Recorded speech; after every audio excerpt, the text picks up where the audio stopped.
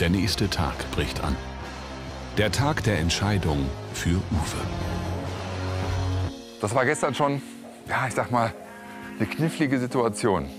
Und ich hoffe, die haben sich jetzt ein bisschen beruhigt. Und da muss ich auch noch fragen, ob sie mit mir überhaupt weitermachen wollen, weil da war ja gestern ne, ein bisschen was im Argen. Wollen wir mal fragen. Guten Morgen. Morgen. Hi. Kommt da rum? Ja. Die letzte Nacht war sehr emotional, weil Uwe völlig am Ende war gestern. Gestern ging mir es gar nicht gut. Ich habe ihn versucht zu motivieren. Den Spaß habe ich gestern komplett verloren. Ich hoffe, es ist mir gelungen. Ich weiß es nicht. Ich habe die Entscheidung getroffen. Bist noch sauer auf mich? Ja. Aber alles gut. Wir reden nicht mehr über gestern. Weil alles irgendwann vergeht. Uwe, ich möchte dir mal was sagen. Ne? Ich sag's halt einfach, dass ich. Vielleicht, vielleicht, war ich, vielleicht war ich ja gestern etwas schofel zu dir. Ne? Aber ich glaube, du hast es gebraucht. Das war gestern ein Worst-Case-Szenario. Aber es ist bei dir angekommen. Weil du ärgerst dich. Und solange du dich ärgerst, habe ich recht. Wenn du dich nicht ärgern würdest, dann hätten wir ein Problem. Und das macht mich so ein bisschen stolz. Und darum werden wir heute auch etwas machen. Erstmal meine Frage, machen wir weiter oder nicht?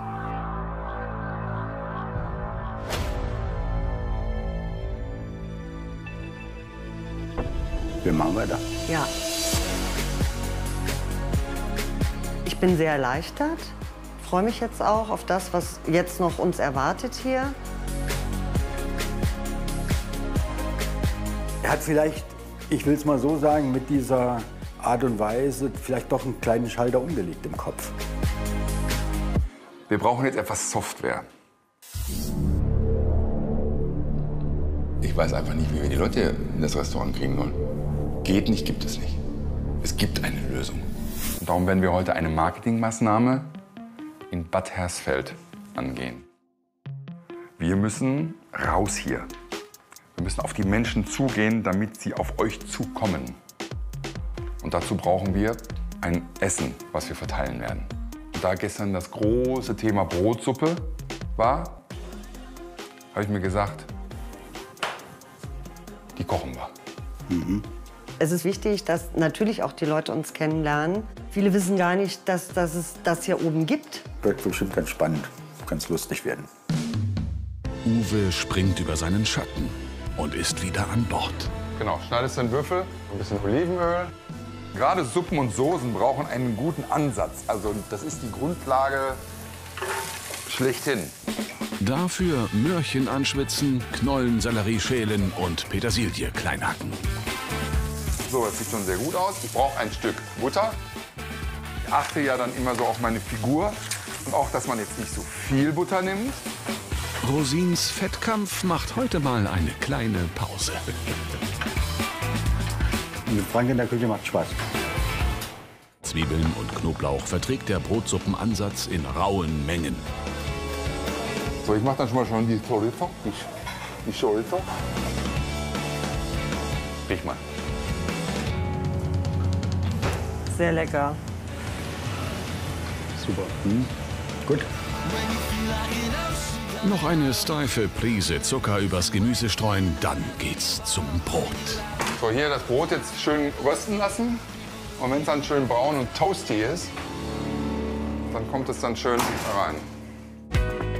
Während Andrea frische Petersilie zerkleinert, angelt Uwe das geröstete Brot aus dem Rohr. Dies wandert nun nahtlos ins Süppchen. Aber nicht komplett, denn ein Rest wird erst am Ende darüber gegeben.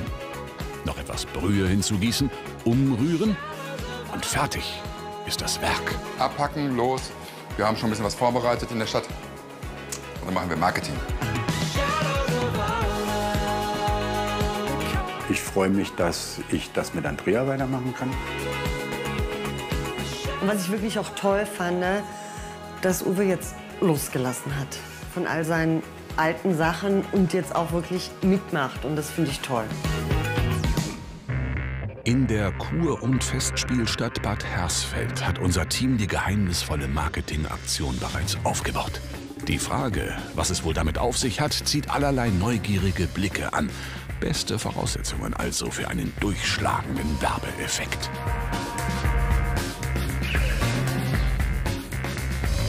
Wie sagt man so schön, ich habe was vorbereitet. Die beiden wissen ja noch gar nicht, was für eine Marketingaktion wir jetzt machen. Ich habe nur gesagt, es gibt heute noch eine Überraschung. Ich bin total aufgeregt, weil ich ja gar nicht jetzt weiß, was, was uns jetzt hier erwartet. Eine völlig neue Situation für Andrea und Uwe.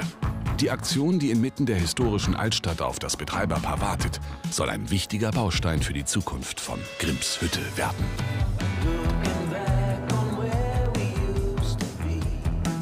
Hi. Hi. Hallo. Jetzt machen wir Marketing. Wir haben da mal ein bisschen was vorbereitet. Schon gesehen? Ein Truck samt überlebensgroßer Werbetafel in der Fußgängerzone sorgt für reichlich Aufsehen.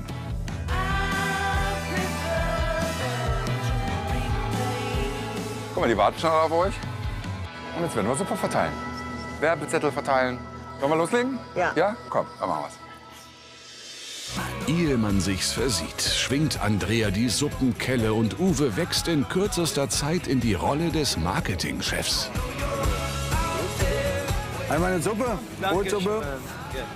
Du bekommst auch gleich, auch gleich eine Suppe. Komm schon. Junger Mann, kommen Sie ruhig mal mit. Essen Sie mal eine schöne Suppe. Eine Brotsuppe von der Grimms Hütte. Einfach vorne abholen. Total lecker.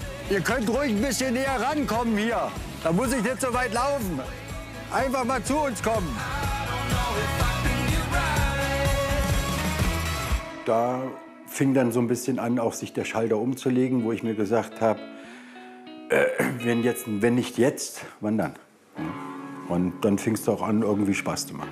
Da war es eben wieder der alte Uwe. Und das war nochmal der Punkt, wo er gesagt hat, ich glaube, du hattest recht.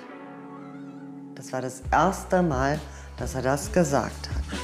Und ein befreites Lachen sagt mehr als tausend Worte. Aber wie schmeckt denn eigentlich das Süppchen? Haben wir jetzt schon. Ist super. Ist super. Ja, lecker. Sehr gut. Ich würde gerne noch mal vorbeischauen in dem Restaurant.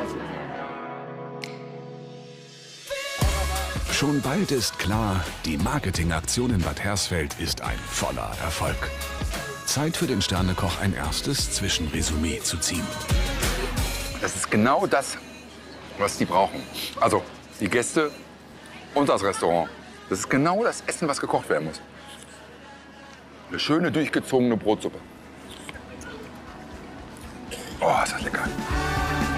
Und wie geht es Andrea inzwischen an der Suppenfront? Also es läuft richtig gut. Und ich denke mal, dass auch den Gästen hier die Suppe schmeckt. Irgendwann ist der letzte Flyer verteilt und das Betreiberpaar merkt, dass sich etwas bewegt hat. Glücklich, zufrieden, nicht mehr so aufgeregt, nicht mehr so angespannt. Für mich ist das das zweite Element, sowas. Mit Gästen umgehen und das ist halt meine Welt. Und deswegen gefällt mir sowas auch. Das läuft ja was. Aber so muss das auch sein. Und das ist deren Chance. Und das sind die Gäste, die sie brauchen, damit sie dorthin fahren, essen und die beiden Geld verdienen. So, morgen großes Finale. Und ich bin gespannt, ob wir das, was wir jetzt hier aufgebaut haben, ins Finale morgen projizieren können. Müssen sie, sonst schaffen es nicht.